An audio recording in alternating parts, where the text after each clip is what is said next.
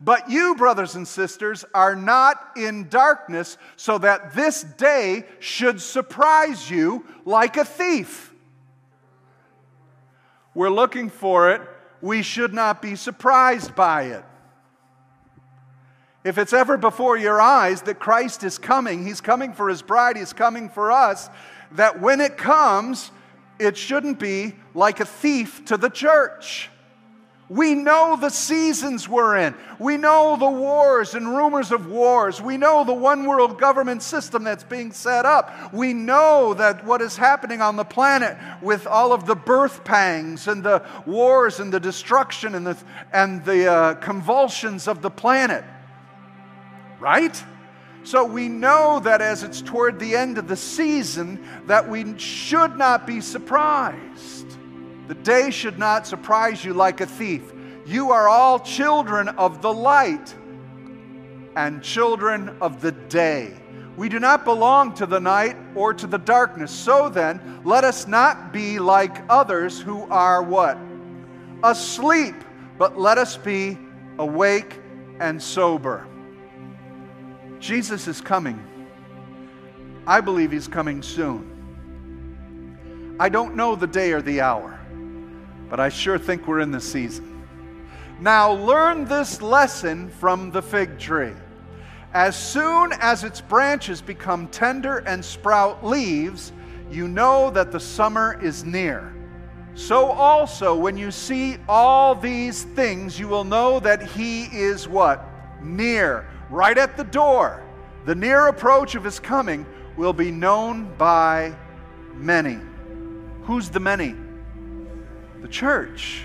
We don't know the day or the hour, but we certainly know it's approaching. Not only that, but the symbology of a fig tree is the nation of Israel.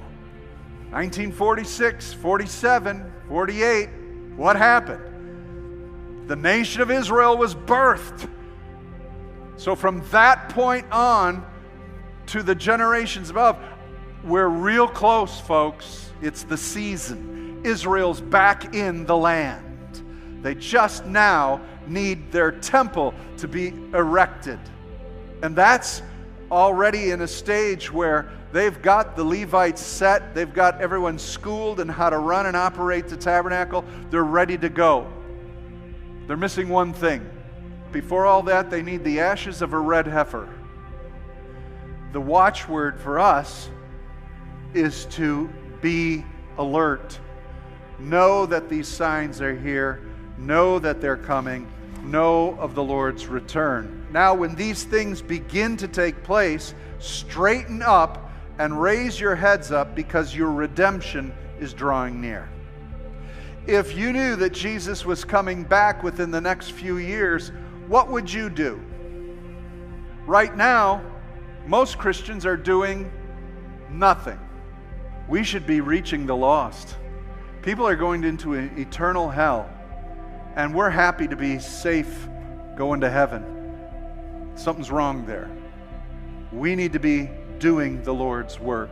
That's why he's still high priest and hasn't returned yet, so that more people will be saved the high priest was called the thief in the night. When Jesus would make reference, or Paul would make reference to the coming of the Lord as the thief in the night, the reference is to the high priest who's checking on the priests who are supposed to be keeping the lamps lit. If a priest fell asleep on duty, not watching the fire on the brazen altar, the high priest would show up, find him sleeping on the job. He would take hot coals off the altar and scoop them with a shovel and dump the coals on the priest's garments. The priest who fell asleep would awaken by the smell of hot burning coals on his own garments. He'd immediately strip off his clothes as fast as he could to prevent from being burned. At the end of his shift, the other priests would see him naked without a garment, and he would be ashamed. This is because all the other priests would know that he was caught falling asleep on the job. Behold, I am coming like a thief. Blessed is the one who stays awake, keeping his garments on, that he may not go about naked and being seen exposed. Jesus is the high priest who is coming. He's the thief in the night. We better not be asleep. I don't want to end up in the fire.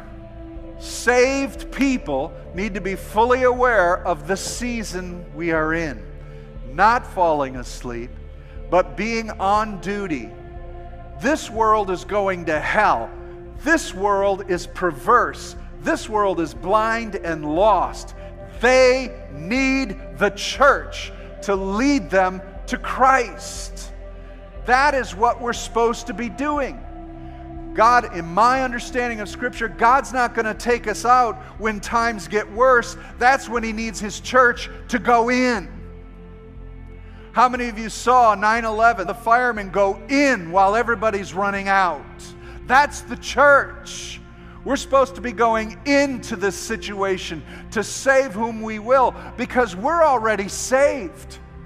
I overcame the, the devil by the blood of the Lamb, the word of my testimony, and not li- loving my life even unto death. I'll do anything I can. You'll do anything you can to reach the lost and to save another soul.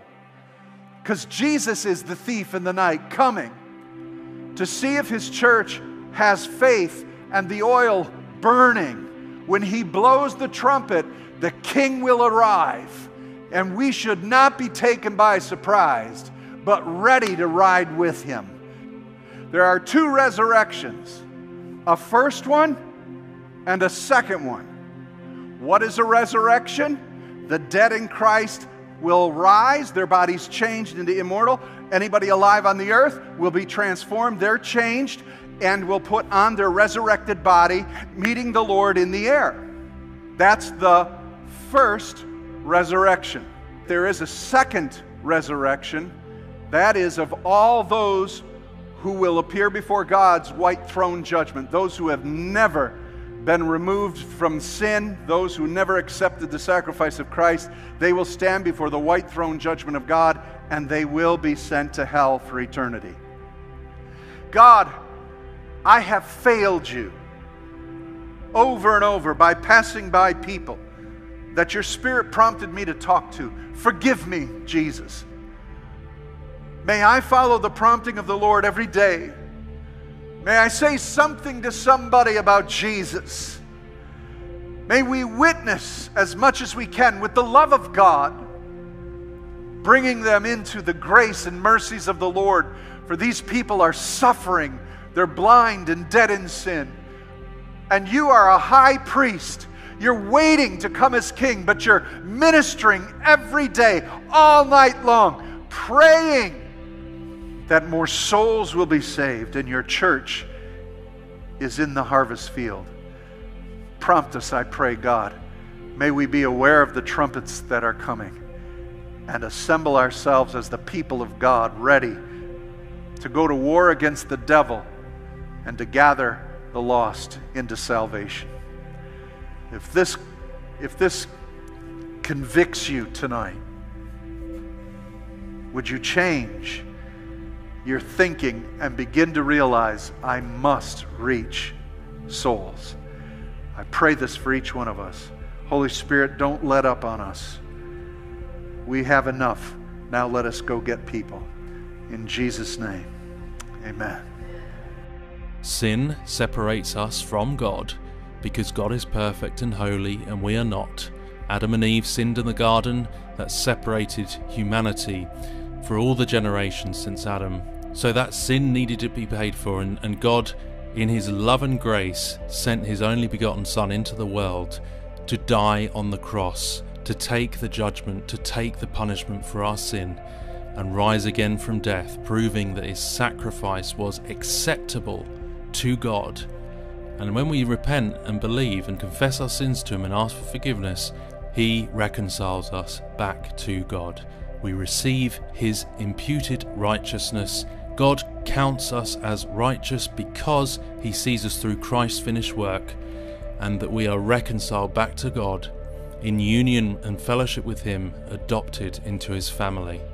And that is the amazing message of the gospel. Not only will we have an eternity of life in Him after we die in this physical body, saved from the torment and the horrors of hell, which is where sinners go if they die in their sins. He saves us from all of that, but also that life with Him begins now, and that to, from today we receive His salvation and begin our relationship with Him, reborn, regenerated, a new creation in Christ, ready to serve Him for the rest of our days here with real purpose and hope, and we can share His good news with those around us who need that salvation gift too. The hour is late, folks. This is not time for us to mess around, and I say that to myself. This is time to get into His Word, to grow in Him, to receive that salvation from sin by grace through faith alone. God bless you all and take care. The King is coming. The season and time is short, it is near.